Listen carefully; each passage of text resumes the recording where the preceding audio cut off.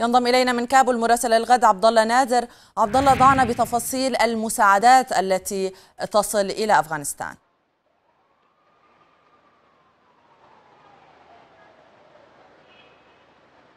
نعم هذه أول مرة يرسل الاتحاد الأوروبي مساعدات عاجلة ويصل هذه المساعدات إلى العاصمة كابول وسيتم توزيعها بحسب الاتحاد الأوروبي عبر الأمم المتحدة والمنظمات الدولية على المحتاجين في أفغانستان. وتأتي هذه المساعدات المساعدات الاتحاد الأوروبي بعدما حذر الاتحاد أمس من أن الأنظمة الاقتصادية والصحية في أفغانستان على وشك الانهيار وإن لم يتم معالجة هذه المشكلات فإن البلاد مقبلة على كارثة إنسانية. وكان أمس قال جوزيف بوريل مسؤول السياسة الخارجية في الاتحاد بأن الوضع الصحي في أفغانستان في حالة سيئة وإن لم تهب المؤسسات الدولية الدولية وخاصة الأمم المتحدة إلى استدراك الوضع المأساوي في في الحقل الصحي خاصة فإن البلاد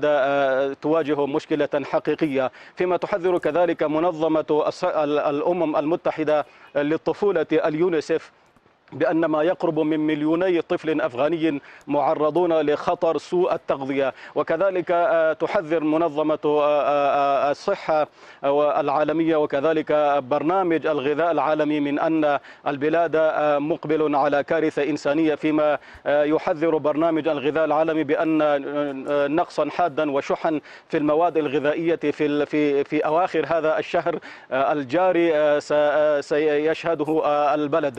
و ذلك لأن مستودعات المواد الغذائية تنضب في آخر هذا الشهر وتحذر كذلك مفوضية المفوضية السامية للأمم المتحدة للاجئين والنازحين بأن ما ما يقرب من من 10 ملايين نازح داخلي يحتاجون إلى إغاثات إنسانية عاجلة. أما طالبان فقد قال أمس في لقاء مع المبعوث البريطاني الذي وصل أمس إلى كابول والتقى بقادة طالبان قالوا إن دعا المجتمع الدولي إلى الإفراج من أموال الشعب الأفغاني وقال إن هذه الأموال مملوكة للشعب الأفغاني وليس للحكومات المتعاقبة على الأراضي الأفغانية.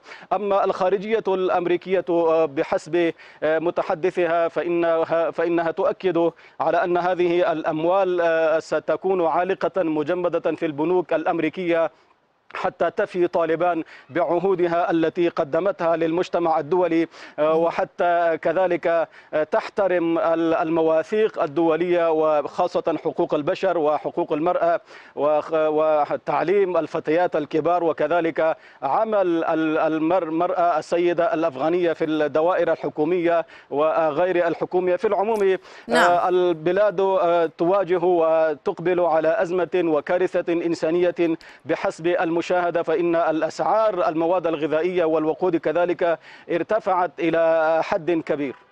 من كابول كنت معنا مراسل الغد عبد الله نادر شكرا لك.